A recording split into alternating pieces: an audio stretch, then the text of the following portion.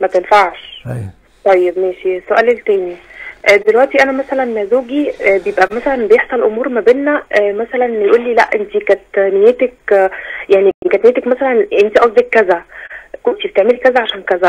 فأنا بحلف بقول والله لو أنا كانت نيتي اللي أنت بتقول عليه ده يعني أتشل مثلا أو يحصل لي حاجة عشان هو ما بيكونش مصدق. فده يبقى- لا ت... أنت جاهلة. لا تقولي مثل هذا.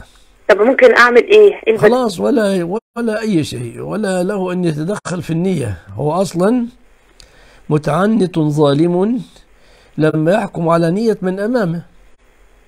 لما يحكم على نية من أمامه. هو له أن يحكم بالظاهر الذي صدر منك. صدر منك كلام طيب طيب. صدر منك كلام غير طيب خلاص يحكم بناء على الكلام الذي سمعه. مجرد مجرد افتراضات منه يعني لا مجرد ده, ده.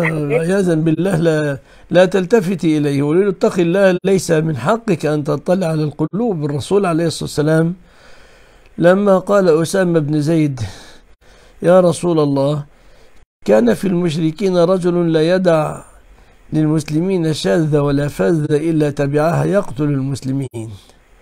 فأمكنني الله منه فتبعته فسقط على الأرض فعلوته بالسيف فلما علوته بالسيف قال لا إله إلا الله فقتلته. فقال الرسول وأسامة يقول يا رسول الله إنما قالها متعوذا قال يا أسامة هل شققت عن قلبه؟ أقتلته بعد أن قال لا إله إلا الله؟ فليس لنا أن نشق عن القلوب. الذي يعلم ما في القلوب هو الله. ونعم فالزوج- بالله. الزوج الذي يقول لا أنت نيتك كذا أنت تتدخل فيما ليس لك. أيوه شكرا فضيلة السلامة الله يسلمك.